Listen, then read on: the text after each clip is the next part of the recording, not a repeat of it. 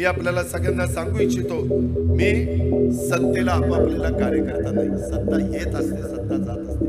मलाही माहिती आहे मी काही ताम्रपट घेऊन जन्माला आले त्याच्यामुळं यंदाचा उन्हाळा कसा जाईल ह्या चिंतेमध्ये मी मुख्यमंत्री उपमुख्यमंत्री मंत्रिमंडळातील सगळे सहकारी आम्ही सगळे आमदार लोक आहोत. परंतु अशी संकट अनेक महाराष्ट्रावर आली. दुष्काळाचं संकट आलं गारपिटीचं संकट आलं त्याच्यामध्ये भूकंपाचं संकट आलं. कधी कधी वेगवेगळ्या प्रकारच्या दरडी कोसळल्याचं संकट आलं. गावाच्या गावं गाडली गेल्याचं पण संकट आलं. अशी संकटं अतिवृष्टीचं संकट आलं. परंतु त्यावेळेस आपल्याला शेवटी थांबून चालत नसतं. लोकांना आधार देण्याचं काम करायचं असतं. त्याच्याकरता मी ज्यावेळेस हे सगळं पाहत होतो मी माझ्या परीनं निरा डावा कालवा सोडण्याचा प्रयत्न केला.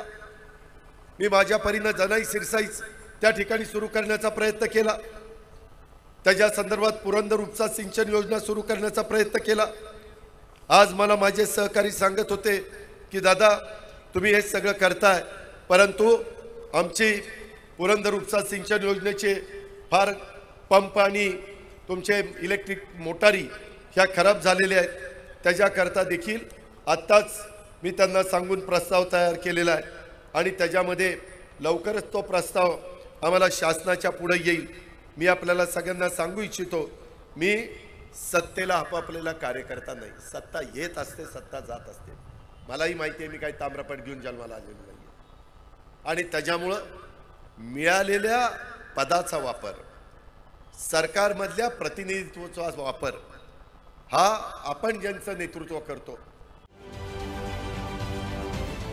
महाराष्ट्रातील सर्व बातम्यांचे विश्वासार्ह व्यासपीठ. सकाळच्या सर्व सोशल मीडिया प्लॅटफॉर्मला लाईक फॉलो आणि सबस्क्राईब करा.